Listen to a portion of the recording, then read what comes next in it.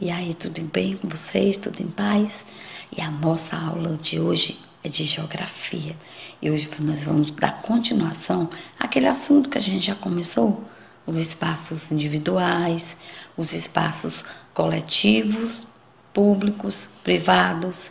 Então, gente, nós vamos pegar o nosso livrinho, módulo 2, e nós vamos é, anotar as páginas 259 até a 263.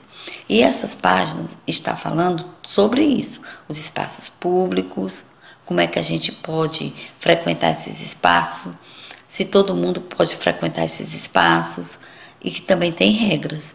E os espaços privados são aqueles que pertencem a uma só pessoa, a uma só família ou a só um grupo mas só pode frequentar esses espaços aquelas pessoas que essa pessoa, esse grupo ou essa família permitir.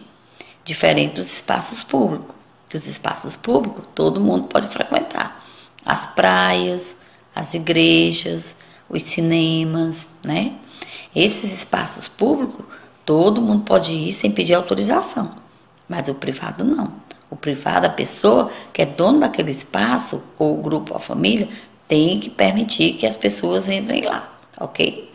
Então, depois vocês vão observar a foto que a tia Vilma vai botar aqui na tela.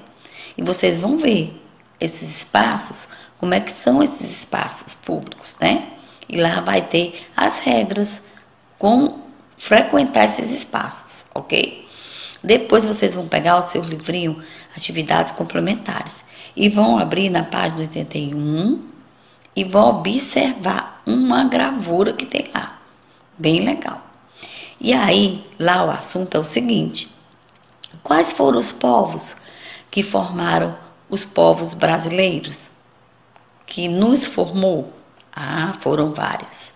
Foram os povos africanos, os povos portugueses e os indígenas. Todos esses para formar quem? Nós, os brasileiros. Também nós tivemos contribuição dos alemães, dos é, italianos.